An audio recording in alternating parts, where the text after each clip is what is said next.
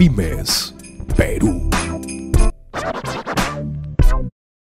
De hecho, el viceministro de, de Minas, Guillermo Oshino, en el marco de, una, de un evento que fue el tercer foro internacional con el tema problemática de la extracción ilegal de minerales, desafíos y oportunidades, organizado por la Sociedad Nacional de Minería, Petróleo y Energía, eh, hizo algunas declaraciones que suenan interesantes, porque fíjese, una de ellas dice, junto a la interdicción de la minería legal, se abrió el espacio para ayudar a los pequeños productores mineros en su formalización, con el fin de reducir el daño al medio ambiente y crear mejores condiciones laborales para quienes se dedican a esta actividad. Suena muy, muy importante, de verdad.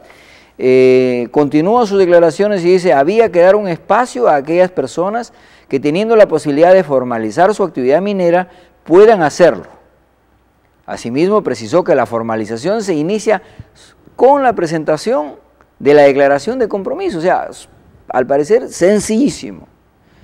Eh, vamos a escuchar a ver qué dicen los dirigentes al respecto, porque lo que aquí dice es un tema de buena voluntad, o sea, hay voluntad política, hay interés de inclusión, hay interés de ayudar mejores condiciones laborales, es fácil formalizarse. A ver qué cosa dicen los eh, dirigentes en esta, en esta parte, vamos a escucharlo a Vilma eh, Contreras Vargas. Conversamos con la señora Vilma Contreras Vargas, es una de las dirigentes que participa en, este, en esta sesión descentralizada de la Comisión de Minería del Congreso de la República. ¿A qué sector representa usted, señora? Yo represento al sector Marinoski. El sector Marinoski se ubica en las zonas de amortiguamiento de la Reserva Nacional Tambopata. Usted ha señalado que tiene que modificarse el artículo, puntos, el artículo 5.1 de la ley 1100. ¿En qué consiste este artículo? Es la prohibición de los artefactos similares, dragas y artefactos similares. Nosotros somos de los artefactos similares y los ámbitos de trabajar los ámbitos donde se debe trabajar. ¿Tienen los permisos, las autorizaciones del caso o no tienen ninguna autorización? Nosotros tenemos el, prácticamente, se podría decirse, el 20% de las autorizaciones. No se ha encontrado esta norma con las autorizaciones. El paquete de norma no se ha encontrado en pleno de proceso de formalización y algunas pocas personas que vivimos en ese lugar o que trabajamos contamos con, el, con la autorización.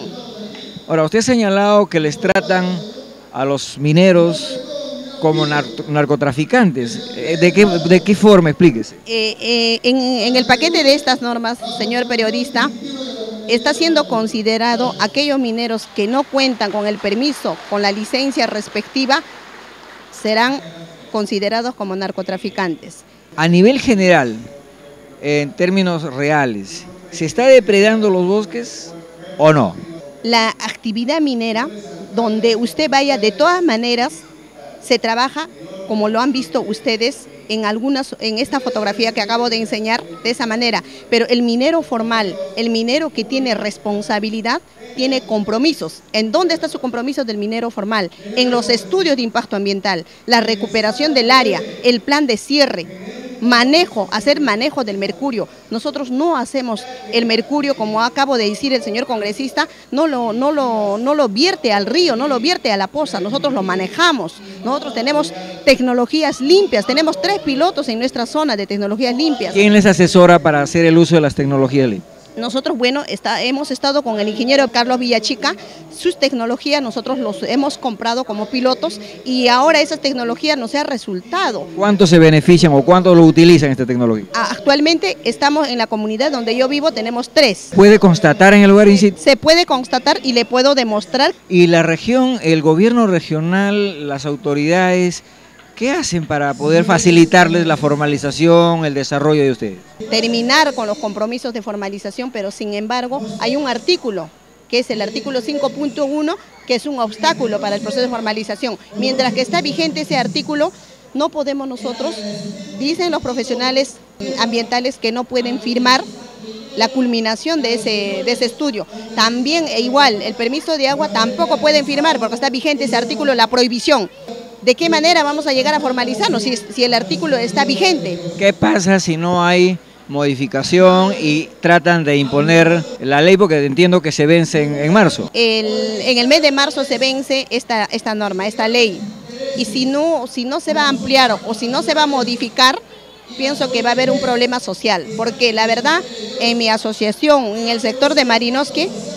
Eh, ¿Cuántos integran? Nosotros integramos más de 150 mineros. Somos uh, de la misma población, no somos personas ajenas, no somos invasores.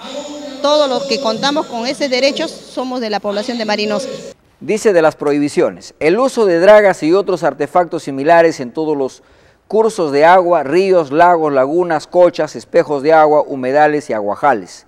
Entiéndase por artefactos similares a lo siguiente, a las unidades móviles o portátiles que se succionan materiales de los lechos, de los ríos, lagos y cursos de agua con fines de extracción de oro u otros minerales. B. Draga hidráulica, dragas de succión, balsa gringo, balsa castillo, balsa draga, tracas y carancheras. C. Otros que cuentan con bomba de succión de cualquier dimensión y que tengan o no incorporada una zaranda o canaleta. D. Cualquier otro artefacto que ocasione efecto o daño similar. Eh, esto para mencionar a ustedes, amigos televidentes, lo que señala la norma, eh, de manera tal, frente a las declaraciones del viceministro, creo que hay una, no hay una compatibilidad. Creo que sería importante eh, remitirse al lugar de los hechos, como lo hemos hecho nosotros, y poder mirar eh, las condiciones de Madre de Dios para poder acogerse a la formalización. Yo creo que en las condiciones que estipula este artículo eh, no podrían formalizarse prácticamente casi eh, ninguno de los que están haciendo extracción de oro. Pymes, Perú.